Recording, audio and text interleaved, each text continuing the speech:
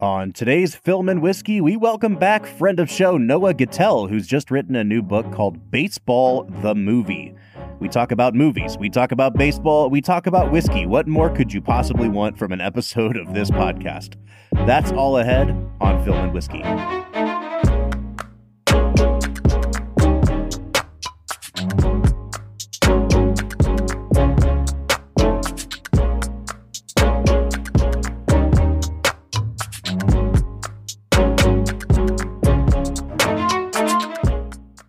Right, we are joined today by friend of show Noah Gittell. He is an author and film critic, and crucially, he has written a new book, which we've just found out is his first book. So, first of all, congratulations, sir. Thank you, fellas. You did it. You've you've accomplished it, and a hell of a book it is.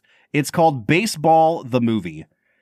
Like, first of all, I want to say thank you for not adding 18 extraneous subtitles to the book. It's just Baseball the Movie, and you get everything you need to know from that because it is so much about not just the sport of baseball, but how it has been immortalized on film and how the two kind of interplay with each other.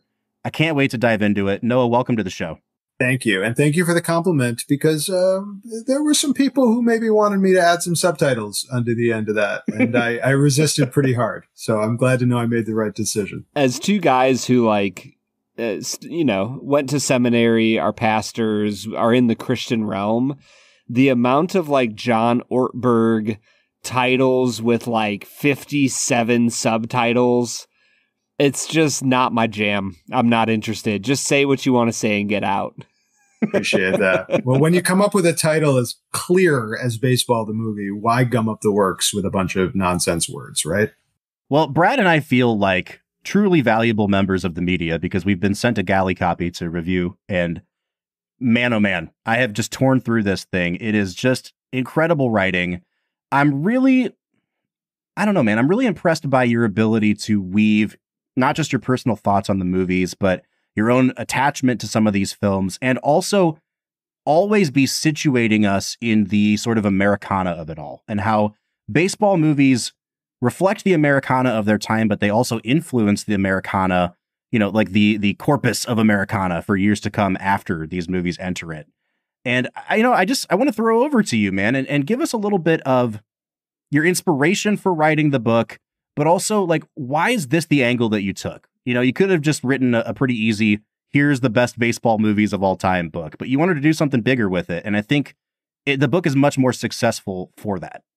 Well, thank you. And you know, I knew if I was going to spend several years on this project, which is what it has ended up being, it had to be a topic that I wouldn't mind spending several years with, really living with, like talking uh, to my wife about it at the breakfast table, you know, watching these movies over and over again. And baseball movies have always been my comfort food ever since I was a child. I mean, I grew up in the late 80s and early 90s, which was really the high watermark for the baseball movie genre. I was a huge baseball fan as a kid. Angels in the outfield, you know, rookie of the year. The, those are the classics we're talking about, right? well, uh, not exactly. if you've read the book, they are referenced in the book for sure, but I would not call those the high watermark. and the, the less said about my take on the Sandlot, perhaps the better. I don't know, uh, but I will say that like I, baseball is a sport of nostalgia. I'm not personally that interested in nostalgia. I think it's such a it's a flattening thing as a critic. Like nostalgia doesn't do much for me unless you want to unpack it and figure out what it means that we love this thing that represents a prior time in our life or a prior time in America.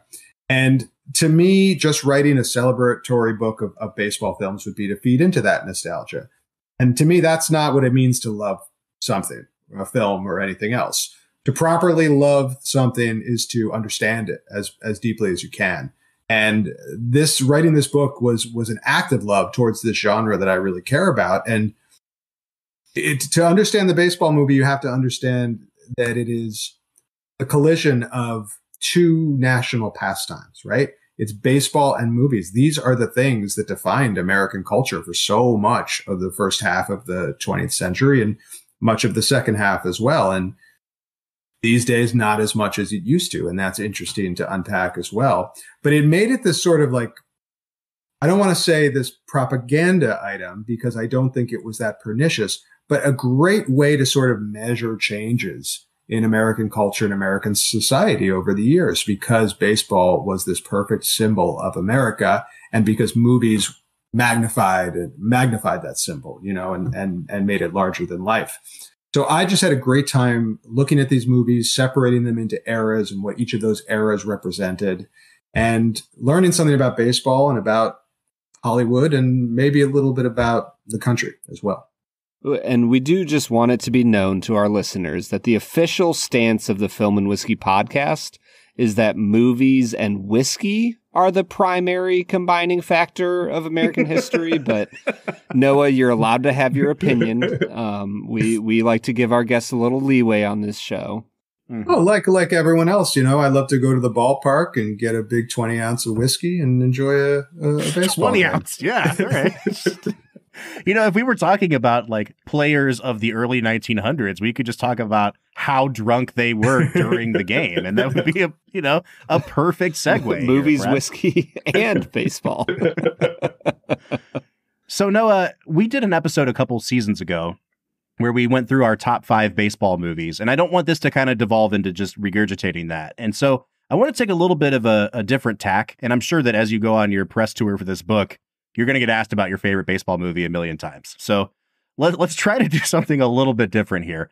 I'm really intrigued by the last part of your book where you signify that there's a few movies that come out in the mid 2000s and, and early 2010s, starting with the Jimmy Fallon movie Fever Pitch, that kind of get at, I think the way you phrase it is, uh, how, do, how does a baseball movie succeed in an era of anti romanticism? You know, we're living in a much more cynical time now and also the popularity of the sport itself has seemed to kind of wane in in recent years.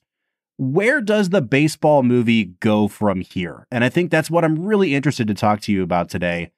Are you concerned for the future of this genre? Is there still a genre to, to speak of at this point? Yeah. So what happened in the 2000s, in my opinion, is we entered this era uh, in which authenticity was more prized in cinema. And, you know, we did an episode on Armageddon not that long ago.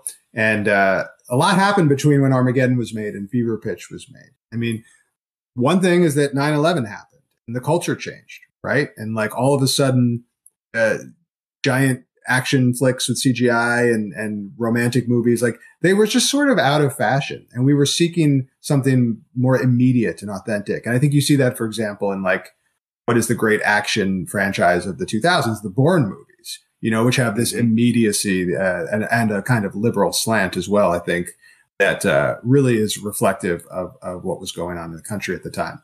And, and so what happens to the baseball movie? These, these movies that are just steeped in Americana and old fashioned heroism and, and things like that, that were really out of fashion. Well, they kind of look elsewhere for their heroes. They kind of, uh, dig deeper underneath the values that baseball movies take for granted Fever Pitch is such an interesting example to me, and it's it really is. I don't spend a lot of time on it in the book, but it is one of my favorite baseball movies because it it examines the way that like baseball can sort of ruin your life. You know, like that's a movie about a Red Sox fan, but the long suffering Mets fan, I certainly relate to what it feels like to identify with a team that just makes you miserable all the time and and it tortures you and it makes you question like why am I doing this and you start counting the hours and and days and weeks of your life you've spent just being miserable watching this team play. And I think that's a really important turn for the baseball movie that it's sort of throwing out the values that we've taken for granted and it's seeking a deeper understanding of the game. And then you have, you know, Moneyball came a few years later, which is a real merging of like old archetypes with a new way of doing things. And that movie obviously speaks far beyond baseball. In fact, I think that movie is probably the baseball movie that non-baseball fans like the most. And then you get into this other area where baseball movies are sort of they're looking at uh, marginalized groups in the game who have not been given their time in the sun in baseball movies. You know, 42 is sort of a retelling of old Jackie Robinson stories. I don't think that movie is, re- I enjoy it, but I don't think it's that interesting really. I think Fences is a really interesting Negro Leagues movie, even though there's no baseball in it. It tells the story of the Negro Leagues through the Denzel Washington character uh, far better than any Jackie Robinson story ever has. Mm. And then there's a movie like Sugar, which has it's developing this reputation as sort of a classic in the genre among people who know. You know, uh, baseball has been terrible about telling the story of uh, Latin-born players, Dominican players, and from other other countries in the Caribbean and Latin America.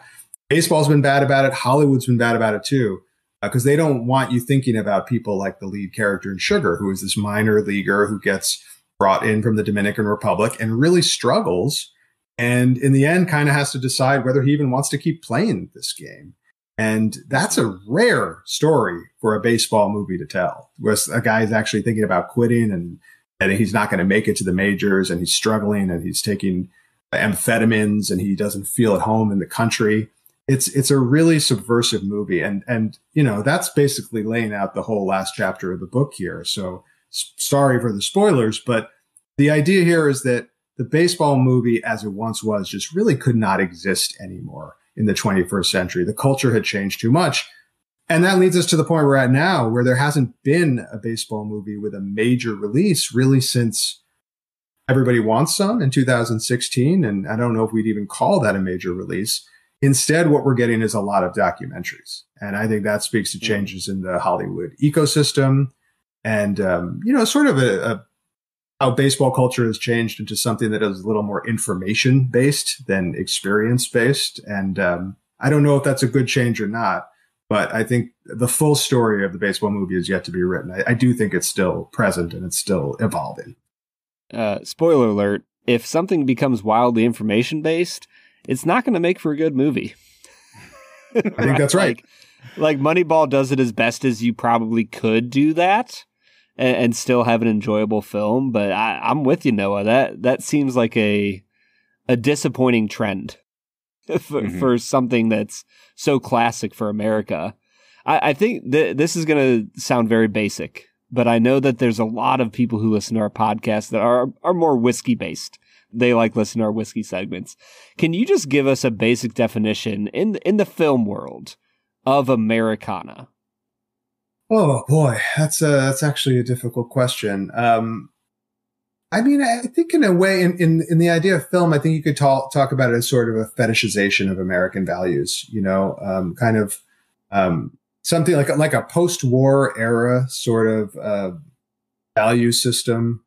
Um, and yeah, hold, holding it up as a, as a, as a, these, these post-war American values as a cultural artifact, certain, certainly. And, um, you know, not really, not really trying to look look underneath those values and and see the true factors at play, but sort of offering a a shallow but but very compelling vision of uh, mm-hmm. of America's um, exceptionalism. You know, Noah, as I got into the book, I really found myself wondering. You have it split up kind of by era of chronologically, like from way back in the 30s and 40s all the way to the modern day. Was there an era for you that was the most difficult to kind of get your arms around? And I, I mean, I have kind of a it's a leading question because I have a movie that I really want to talk about, mm-hmm. but I feel like some baseball eras are much more straightforward about what they think of the game, what they think of how that reflects America, and others get a little bit more tangled up and, and knotted. So for you personally, as a lover of baseball movies, what was the easiest era for you? What was the hardest one for you to write about? It's an interesting question because you would think it would be uh, the 80s and 90s because uh, those are the movies I grew up with, but that actually made it harder um, because I had such nostalgia for those films that um, it was it was a little harder to be critical of them or really find the right critical lane uh, or critical avenue for them. Also because uh, people love those movies so much and know them so much i felt i felt a lot of pressure. I think actually the 70s era was the easiest for me. There are only three movies in that uh, section so that helped but i'm just pretty comfortable. I've done a lot of thinking and a lot of writing about the cultural and political forces in the 70s already so it was pretty easy to to you know parse that out and, and lean on my knowledge base there and I actually had not seen the original Bad News Bears when I like oh, started wow. writing this book. I know I don't know how I missed it. It was crazy, but uh, I loved that movie so much when I finally did catch up with it. It's a top five baseball movie for me now. So it was it was fun to watch to write about that sort of uh, like having newly fallen in love with it. You know? Yeah, you know, I totally had something kind of similar recently. I sat down and watched Field of Dreams for the first time in I don't know how long. And as I was watching it, I, I kind of had this realization That's have I ever actually watched this movie front to back before, or have I just seen it in bits and pieces on cable? And man, like, you know, this is held up as like the paragon of baseball movies. And I was kind of shocked to see how, first of all, how little baseball is actually in it, but also how, Yeah. you know, if you want to talk about baseball as a Yeah. metaphor or as a symbol, this movie is like the apex of that because it's not really about baseball at all, is it? I totally agree. Um, I had a hard time writing about it, and you know, somebody on a, another podcast asked me to like define what is a baseball movie, and I said it's really hard to do because the best definition you can come up with will have um, exceptions, and typically, I would say something like a baseball movie is a movie where the baseball moves the plot forward in some way, but Field of Dreams it does not at all. Like the, the baseball action in that movie is almost it's completely incidental to the plot, right? But on the other hand, it is about baseball perhaps more than any other movie that's ever been made. So it is it is really a hard one to pin down. Um, I had a I had a quote from uh, Michael Schur that I didn't actually use in that chapter. I used a different one because he was writing a uh, he wrote a, a series. He was going to adapt it into a TV series a couple years ago, and it got dropped by Amazon just before they started shooting. But he said that when he went to his writer's room before they started writing it, he said that this movie is like a giant, it's like a giant bubble. Like it's that delicate. It's delicate and it shimmers and it looks different from different angles. And we have to be stewards of this bubble and make sure it doesn't pop. And I thought that was so fascinating because it just it explains how precarious the whole movie is. That if you start pulling at the threads, like the whole thing just kind of falls apart. Yeah, it's this really interesting kind of I don't know, I don't know political document. Like it's very clearly this like apologia. You know, I don't know- I don't know if it's a defense or an actual apology on behalf of like the boomers that made this movie. That you know we were these young liberals at one time, and now we've slipped into conservatism, and it's like there's a lot of Reagan going through this movie. But 100%. like at the end of the day, it's also very much like we want we want to have our cake and eat it too. We want to be able to say that like we still have this liberal streak in us, but we've settled down. We live on farms now, and that's okay. And baseball is the metaphor for America that allows us to like be okay with that decision.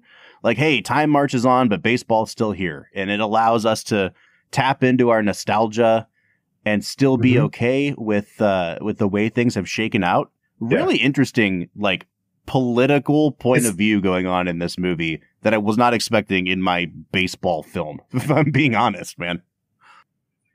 it's like a sequel to The Big Chill, Yeah, yeah, yeah. right? Which Kevin Costner was famously in for half a second. So that's pretty interesting.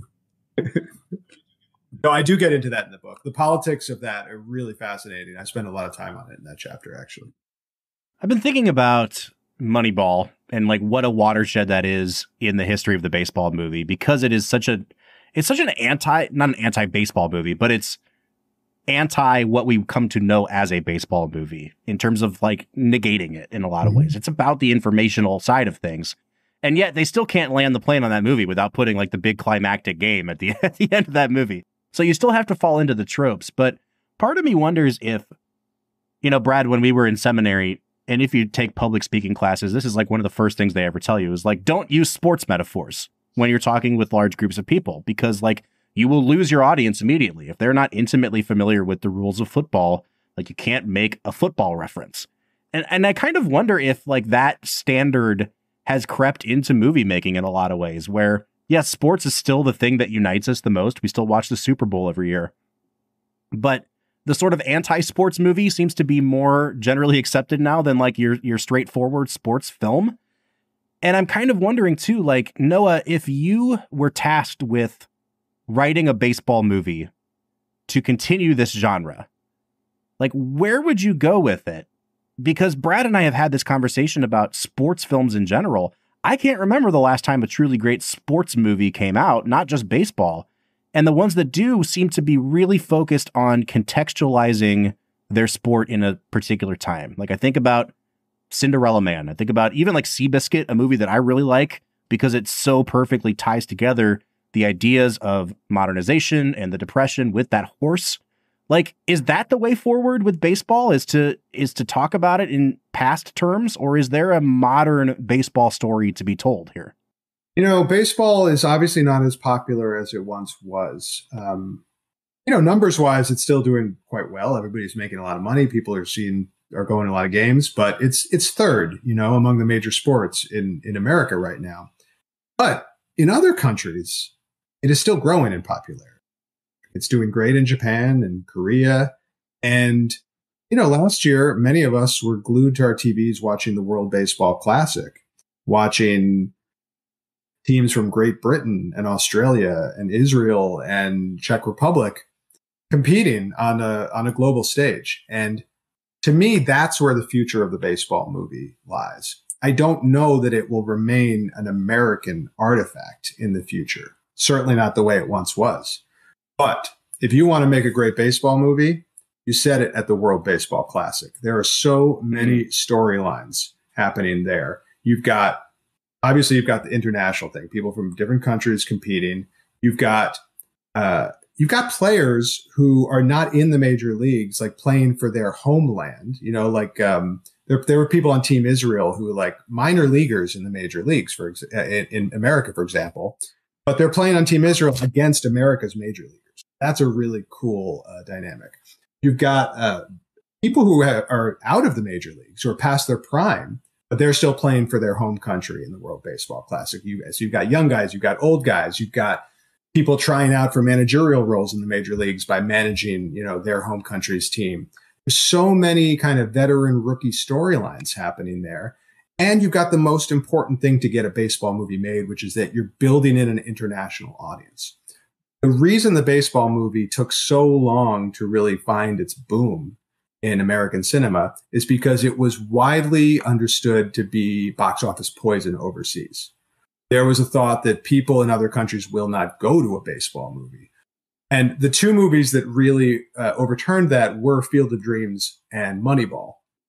But I think that only happened because they had huge movie stars that they could put on the posters. And baseball movies actually don't often have that because they're ensemble movies for the most part and not movies driven by a major star. But if you can convince people, uh, Hollywood executives, that a baseball movie is going to have an international audience, all of a sudden that completely changes the calculus. So to me, creating international storylines, setting a movie at the World Baseball Classic, that kind of thing is the path forward for the baseball movie in terms of creating a compelling story that speaks to our more you know global world and also making a uh, financial calculus that makes sense to the suits. And and who's who's your movie star? Who who's drawing people in?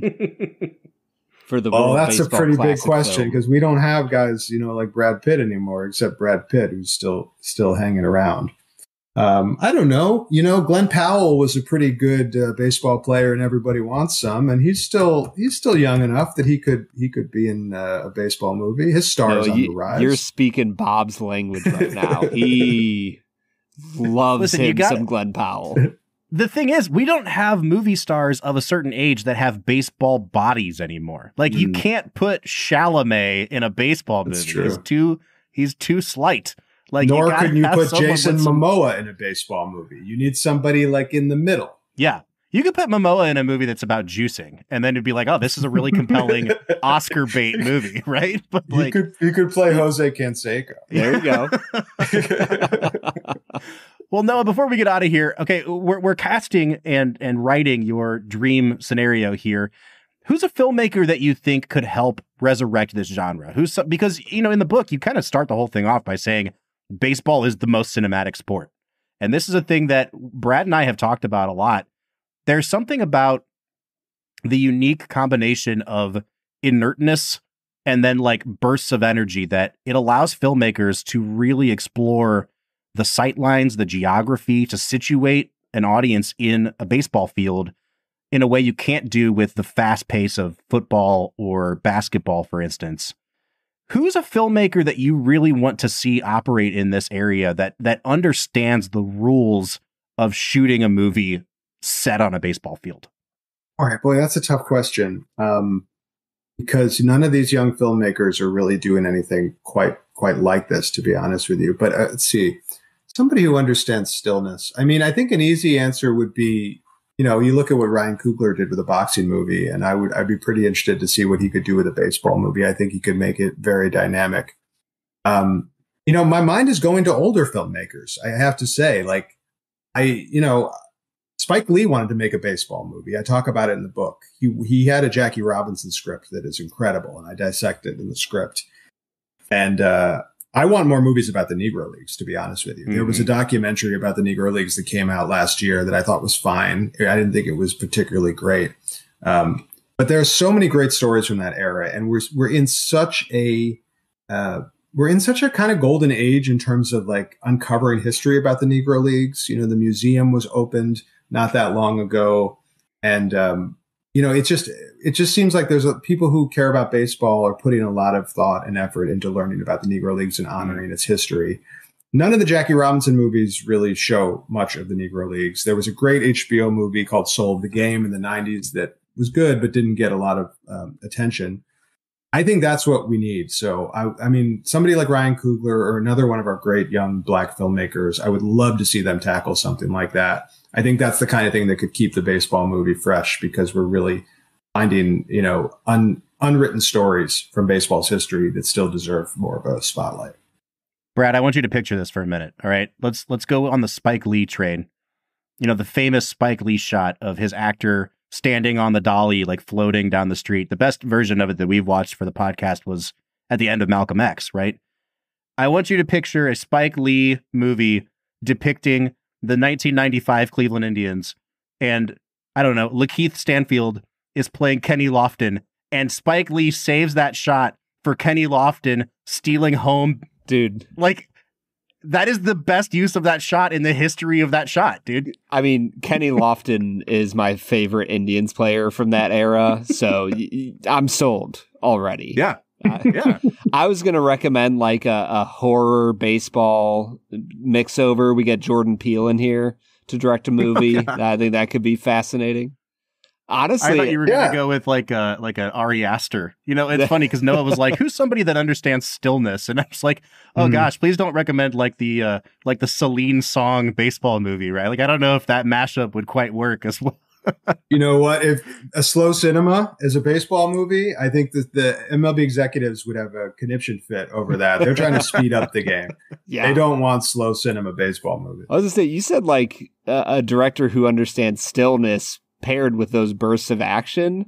I like this could be a wildly off answer. I think Edgar Wright could be an interesting director for a baseball mm. movie. Oh, that's fun. Yeah. Like mm-hmm. he has enough of his own stuff that would fit in there, but I I think he could be a really fun baseball director, especially as somebody who I, I am guessing did not grow up with baseball as their primary thing. To have an outside voice and thought process on it could be fascinating. Hmm. I got I got a couple more that just sprung to mind. You know, we're talking about stillness. I mean, and confrontation, and you know, the baseball is like it would mesh very well with the western. I think with somebody who knows how mm. to direct westerns. So this is an insane idea, but how about a how about a Kelly Reichardt baseball movie? Oh, nice. You like can't shoot it in Meek's Cutoff, but baseball. I was gonna say you can't shoot it in Academy ratio though. Like you gotta get my girl shooting these movies in like at least 185 just for the sake of seeing the stadium. No, no stadium shots, no crowd shots, just the pitcher and, and the batter. That's it. There you go. There you I, I want to see a Terrence Malick baseball film. That's what we need to revive the baseball. Played in a wheat field. yes. All right, everybody. This has been our friend Noah Gittell. Noah, I'm I'm so glad that you chose to spend a few moments with us talking about this book. The book is called Baseball the Movie. Noah, where can we find the book and where can we find you on social media? Uh, the book is available at all the places people buy books: uh, Amazon and Barnes and Noble and Bookshop and Target. Um, you can also find me on Twitter at Noah Gittell. I'm on TikTok a little bit and Instagram a little bit. And you can go to my website, noahgittell.com. That's two T's, two L's, and you'll see all the book information there, as well as events that I have coming up. All right, we'll be back on Tuesday with another regularly scheduled episode. But until then, I'm Bob Book. I'm Brad G. And we'll see you next time.